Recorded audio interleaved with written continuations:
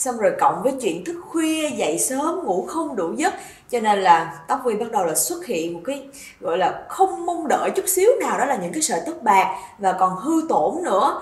Nhưng mà bây giờ vi cũng không cần phải đi spa hay là salon nhiều, không có mất nhiều thời gian, mọi người biết tại sao không? Tại vì đây, giới thiệu cho mọi người nha. Đây là Shinhe, dầu gội phủ bạc, đổi màu tóc nhập khẩu chính hãng từ Nhật Bản luôn. Và đây là dòng sản phẩm dầu gội phủ bạc tóc tự nhiên. Và sản phẩm này không phải là thuốc nhuộm nha, chỉ cần là mọi người có thể sử dụng như là dầu gội thông thường nè thì tóc của mọi người sẽ được phủ một lớp màu bảo vệ đối với những sợi tóc bạc, và tóc được phủ hết bạc 100% luôn nha và nhờ Shinhe thì Vi cũng không phải là mất nhiều thời gian để đi spa nữa. Chỉ cần khoảng chừng 10 đến 15 phút thôi là tóc của Vi có thể là đen tiền trở lại. Mà gội xong á, tóc của Vi còn mềm nè, rồi bồng bềnh nữa. Mình cảm thấy rất là thích, rất là đẹp luôn. Và có thêm một bậc mí cho mọi người nữa nha. Với sản phẩm Shinhe là có hai màu, là màu đen nè và đây là màu nâu nè đó.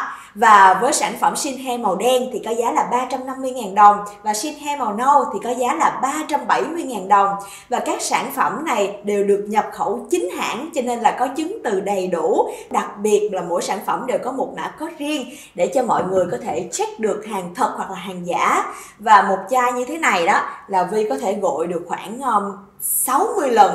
Tính ra thì uh, gội một lần á uh, để vừa phủ bạc nè rồi vừa dưỡng tóc nữa. Tính ra có khoảng 5 ngàn đồng thôi quá rẻ đúng không nào? Như vậy thì mọi người Vi nghĩ là rất đáng để sử dụng nè.